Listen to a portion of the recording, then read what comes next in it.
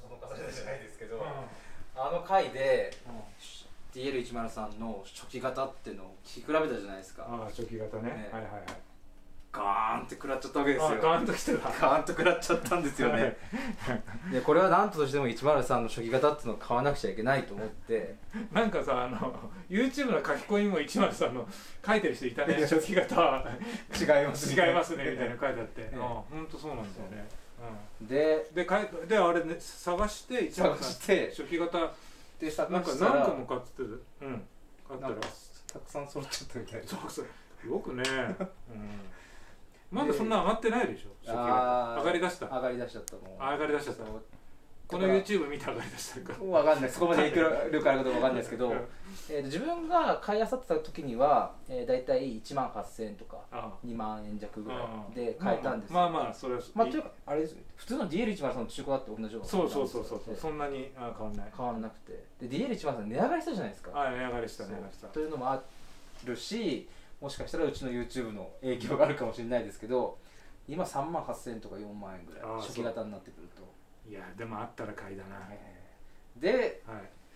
たくさんあるんですけど。えこれみんな初期型えー、とこれだけ、えー、なんていうの？これは違うやつ？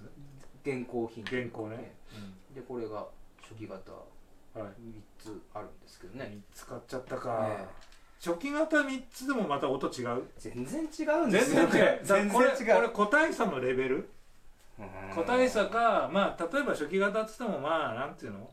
当時まだあの製造工程というかまあちょっとぶっちゃけ人によって違うとかうね、んあるかもしれあないし。でそもそもですね重さが違うんですよ。じゃあじゃあもうそう。素材から違うってことだよ、うんもしくはなんかコイルの単数が違うかわかんないですけど。そうだね、え試行錯誤してたのかもしれないし初し初初期の時に。えはいはい。なのでなんか普通に新圧計でペッて置いて測ってみるとなんか一番古ぼけたやつが一番重かったのか確か。重かった。重かった。どどんどん軽くなってくるんですよ。う新しくなるにつれて。ん。面白い。へえ。え。で DL103 でこの初期型って何年から何年までなのかっていうのをですねうん。いろいろな文献見たりとか 出たそうヤフオクのなんか保証書とかついてるじゃないですか。をなんか画像拡大して落札はしないけどその画像だけ拡大して何年っていう保証書のスタンプが押されてるとかバーって見てみるとどうも1968年から1973年の間たった5年間。買った5年間。あが初期型のこのあタイプね。タイプ。で5年の中でもちょっと違ってると。ちょっと違ってるああありえるね。えありえるね。そう。でなんかちなみに DL103 のハリカバーとうかんうん。ないやつ出てるじゃないですか、あるある。うんそうそうそうそう。特殊だからね特殊なんです、これね。そうそうそうこれ実はあの D&M のオンラインショップで買えるんでうんあ なそうない人はあの普通に買った方がいいです。あヤフオクとかでなんか耳より豆情報耳より豆情報ああそうだよね。そうヤフオいやクとかこれ出す人もさこれ買ってつけたい出した方が高く売れたりそうそうそう。でヤフオクとかでなんか800円ぐらいでこういう 3D プリンターでカバー作りましたみたいな売ってるんですけど、まあ、純正のやつがそういう安い値段で買えるんで。あそうだね。えそれも買ってるんだ 3D これもどんなもんかなとあ思って。であとははい。なんかこんなあなんて DL103 の当時の箱。本当。えー、これも和服で売ってんの？は売ってた。どれかについてたのかな確か。どれかについてたんだよね、だかうわらーすごい。測定器のあれスペッもクが手書きじゃん。手書きなんですよそれ。でしかもなんかね。当時のなんていうんですかね、うん。なんていうかあのパッと出てこないですけど。ああこうね。そう。これ何かわかんないけどプロって書いてあるんですよね。プロって書いてあるね、ええこれは業務機で出したものなのかわかんないですけど、うん。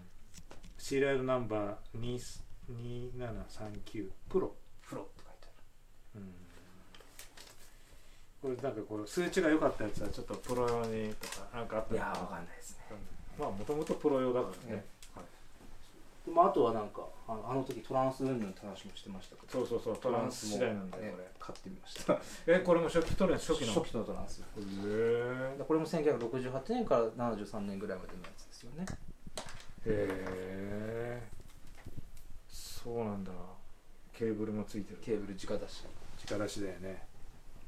ういやこれの音がですねなかなかですね、んいい？うん、まあ自分はジェンセンの方があの時やった。ああの好時きですけど。好きだったの、うん、なかなか良かったです。そのケーブルが侮れないっていう話もあるよね。ありますね。うん。ここれこれの音なんじゃないかなみたいいや本当にそう。え特に MC トランスのこの虹側のこの出力のケーブルってな、これで音がめちゃくちゃ変わっちゃうんですよ、変わるよね、だから本当に直付けは絶対外しちゃいけないよね、はいそうですね。へー。そう。ヤフオクでも変に改造してうん。ここに RCA のあのメスのプラグつけてるやつとかありますけど、うん。あえてこれは純正のケーブルがついてるやつ探して。絶対そう。ねこれ。だからここれを外して好きにできますよ的な便利ですよ的なだけ改ど造してるやつするけど実はこれが大事だね買ってるね。で今は、えー DL103 の初期型。今ちょっとこれはですね一番古いやつ。一番古いやつと一番古いやつはなんかもったいないような気がしちゃって再生るの。えもったいないってことは音はこれいいの？うん、なんかちょっと違う音がしますね。違う音、うん。言い悪いじゃなし、うん。ちょっと別種の音。別種の音がしちゃって。へなんかこれねいくら丸張りっつったって減っちゃうじゃないですか。ーあそれはそうだよ。ちょっともったいない気がするんで今はこの2種類初期型2種類でローテーションさせて聴いてますね。おーすごいね。へえまあそりゃそうだよねでそんな研究をしてるうちにですね、で DL103 の話をするかと思いきやそうではなくてそれは違うの違う実は違ってです。ねなんかそれでちょっと初期型聞き比べじゃないんだ。あ初期型と比べではない。ない、うんまあ、これ以上値上がっちゃうと自分も困るんで。はいなんかなんか見せびらかしで終わったわ。けです DL107 っていうのおお107聞いたことない。はないですよね実は107調べたら DL103 ってうん。いわゆる NHK で放送局で作られてたじゃないですか、うん。で発売するの民生に発売するのってちょっと遅いんですよ。1971年とか、うんでこれはあの開発と同時に民生でも出たんでうん。うん実は民生向けに普通の人が一般に買えるカートリッジの中で一番歴史があるのはこの DL107 あこっちの方が古いのでこれ MM なんです MM? へへえ MM なんだ。そう。当時。の、MM なんだ。えーやつがついて俺 MM 派だからさはいはいはい。なんか急に欲しくなるけどね。これ売ってないよね。これは。これこそ見ないでしょ。見ないですね。見ない。のこの中の取説までついてるのがあったんだ。あったんですよこへえれそう。でしかもこれ MM なんですけどうん。針交換の仕方がうん。これ特殊でですねちょっと開けると分かるんですけど えじゃあこれの交換針っていうものも存在してたってこししてるんです。ネジ取り付け式なんです。へえあネジで外してつけるの？そうなんです。ういわゆる普通の MM ってなんかスポッて抜いてなんていうの差し入れ式じゃないですけどん。挿入するタイプじゃないですか。じゃなくて針のそのアッセンブリのところがネジになってる。ん。でネジで締めるっていう感じですねうーん。でどうも、う。ん。えー DL103 放送局って言いつつも、えーまあ、当時はあ DL103 使ってたらしいですけど、だんだん結局 ML MC なんで針交換とかうんぬんかんぬんって話になってくるとランニングコスト的に放送局は今は実は DL107 を使ってるらしいですけど。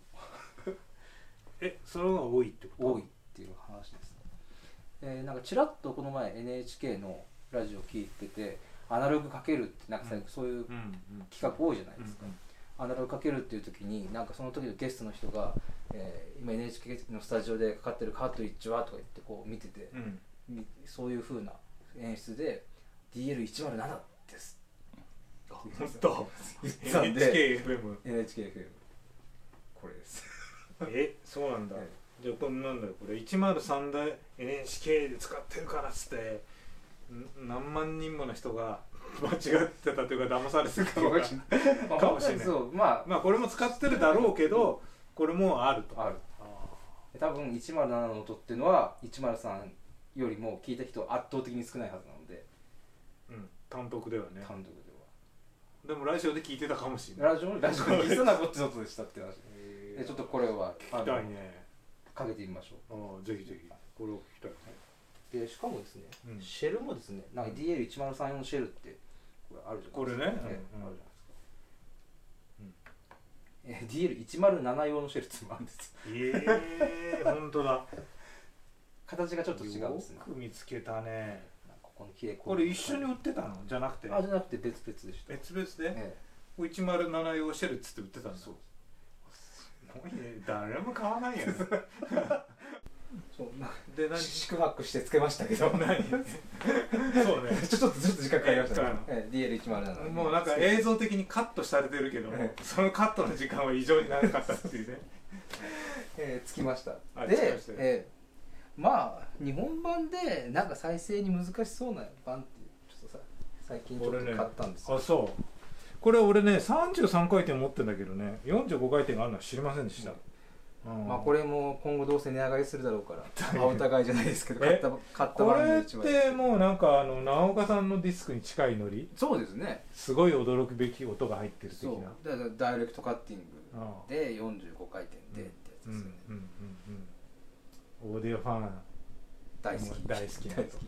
でこれがじゃあ DL10 なので107どうなるのかそうね、い。で10そうだじゃあ聞いてみる聞いてみましょう。10あれレコードはどこですか？あごめんなさい。107と比べないと分かんないかなまあいいか。こんな感じっていう。こんな感じ。えっ、とサイド B でしたっけ？はい。サイド B サイド B の2曲目、2曲目。えー、黄金輪三葉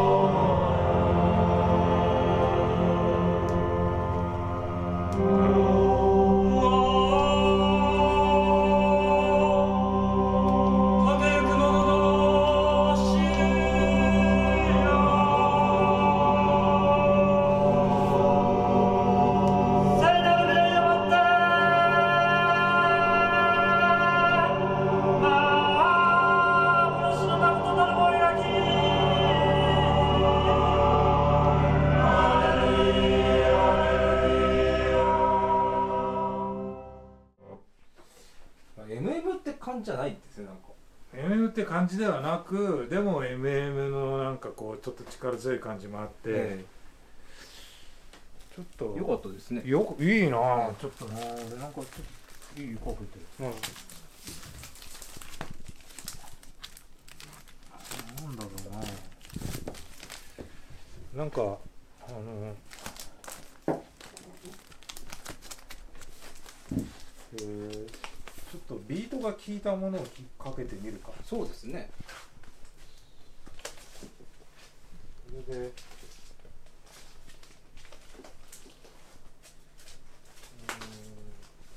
ーんいいのかどうか。いや全然違う。ジャズかけてみる。ああ。これかけたことあったかな。あ多分初めて。あ初めて。これステレオなんでえー、45回転。そうだ危ない危ない危ない。これやるとしらけちゃうんだよ。すごいなんかあの「